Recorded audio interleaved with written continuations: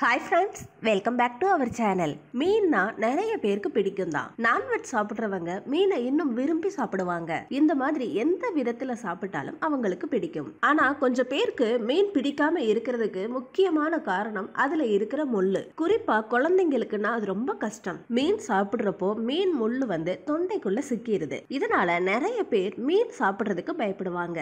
ஆனா அதுக்கு பயப்படணும்னு அவசியமே கிடையாது. இப்ப நீங்க ஒரு முள்ளை முழுங்கிட்டீங்கன்னா அது வந்து உங்க தொண்டையில இருக்கும். அது ஒரு சின்ன முள்ளு தாங்கிறத நீங்க ஞாபகம் வச்சுக்கோங்க. இன்னைக்கு நம்ம மீன் முள் வந்து தொண்டைக்குள்ள மாட்டிக்கிடுச்சுன்னா அதை வெளியில எடுக்கிற ஒரு சின்ன டிப்ஸை பத்தி தெரிஞ்சுக்கலாம். அந்த டிப்ஸ் என்னன்னு தெரிஞ்சுக்கிறதுக்கு முன்னாடி உங்களுக்கு இந்த வீடியோ பிடிச்சிருந்தா லைக் பண்றதுக்கு மட்டும் மறந்துடாதீங்க. எதுக்கு என்ன ஃப்ரெண்ட்ஸ் நீங்க லைக் பண்றதால உங்களுக்கு இந்த மாதிரி நல்ல நல்ல ரெமெடி சொல்றதுக்கு மோட்டிவேஷன் பண்ணவங்களா இருப்பீங்க. ஃப்ரெண்ட்ஸ் மீன் சாப்பிடுறப்போ தொண்டையில சிக்கிக்கிடுதா அப்படின்னா ஆமாதான் அதுக்குரிய சான்ஸ் வந்து கொஞ்சம் இருக்குது. அதனாலதான் மீன் சாப்பிடுறப்போ நிறைய பேர் பயப்படுவாங்க. அதே இது குழந்தைங்களுக்கு கொடுக்கறோம்னா இன்னும் ரொம்ப ஜாக்கிரதையா சாப்பிடணும். இந்த மாதிரி மீனோட முள் வந்து தொண்டையில சிக்கிக்கிட்டா என்ன பண்ணணுங்கிறத இப்ப பார்க்கலாம். உங்களுக்கு தொண்டையில முள் சிக்கிருச்சுன்னா உங்க வயித்துல யாரையாவது ப்ரஷ் பண்ண சொல்லுங்க. இந்த மாதிரி அழுத்தம் கொடுக்கறப்போ காத்து வந்து தொண்டைக்குள்ள போகுது. இந்த மாதிரி பண்றதால அந்த முள் வந்து காத்துக்கு வெளியில வந்துருது. இல்ல அந்த முள் வந்து உள்ள போயிருச்சுன்னா எந்த எந்தவித சைடு எஃபெக்ட்டுமே இருக்காது. எதுக்குன்னா அந்த முள் வந்து நம்ம வயித்துல ஜீரண மண்டலத்துல சேருது. அங்க போறதால எந்தவித தொந்தரவுமே இருக்காது.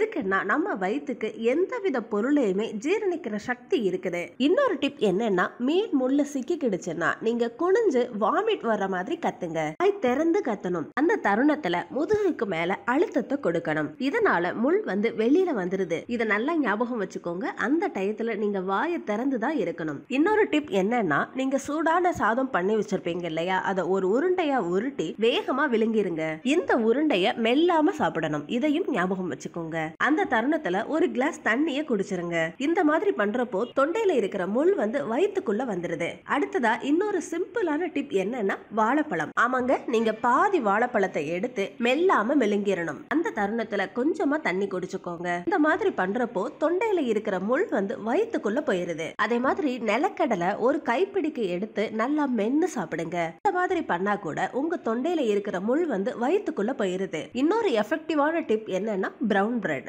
பிரவுன் பிரெட்டை அந்த பிரெட்டுக்கு மேல பீனட் பட்டரை தடவி அதை கொஞ்சம் கொஞ்சமா மென்னு சாப்பிட்டு அதை ஃபுல்லா சாப்பிடுற வரைக்கும் வாய்க்குள்ளேயே வச்சிருங்க. அந்த தருணத்துல மெல்லாம அப்படியே சாப்பிட்டுருங்க. அப்படியே கொஞ்சம் தண்ணியையும் குடிச்சிருங்க. இந்த மாதிரி பண்றப்போ அந்த பிரெட்டோட முள்ளும் வயிற்றுக்குள்ள போயிருது. அதே மாதிரி மீனோட முள்ள விளக்குறதுக்கு இன்னொரு முக்கியமான டிப் வந்து வினிகர் ஆமாங்க இந்த வினிகர் கூட வாயில இருக்கிற முள்ள வந்து வயிற்றுக்குள்ள ஈஸியா அனுப்பிடுது. இதை எப்படி எடுத்துக்கணும்னு இப்ப கவனமா பாத்துக்கோங்க. ஒரு கிளாஸ் தண்ணியில ரெண்டு டேபிள் ஸ்பூன் வினிகரை கலந்துக்கோங்க. இந்த தண்ணிய ஒரு வாய் மட்டும் குடிச்சா கூட போதுங்க. அந்த தண்ணி முள்ள வந்து வயிற்றுக்குள்ள அனுப்பிடுது. நீங்க ஒருவேளை சின்ன முள்ளு தான் சாப்பிட்டுருந்தீங்கன்னா எதையுமே சாப்பிடாம கொஞ்சம் தண்ணியை மட்டும் குடிச்சா போதும். அது ஈஸியா வயிற்றுக்குள்ளே போயிடும் அதே மாதிரி தொண்டைக்குள்ள இருக்கிற முள்ளை உள்ள அனுப்புறதுக்கு டாக்டர்ஸ் பயன்படுத்துற டெக்னிக் வந்து கார்பனேட்டட் ட்ரிங்க் சோடா இந்த மாதிரி ட்ரிங்க்ஸை டாக்டர்கள் பயன்படுத்துவாங்க. ஒருவேளை முள் தொண்டைக்குள்ள இருக்கிறப்போ உங்க பக்கத்துல சோடா இருந்துச்சுன்னா சோடாவை கூட குடிக்கலாம். அதனால சோடால இருக்கிற கேஸ்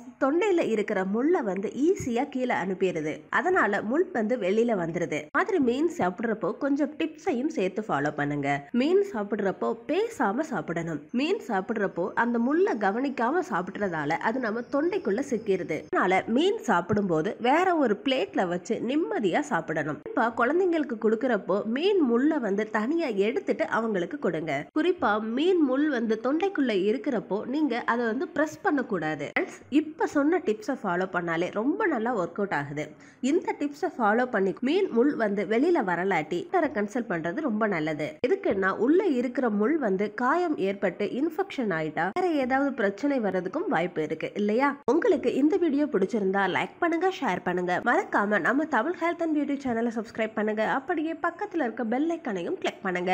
அடுத்த பயனுள்ள வீடியோவோட நான் உங்களை சந்திக்கிறேன் friends until then bye bye friends thank you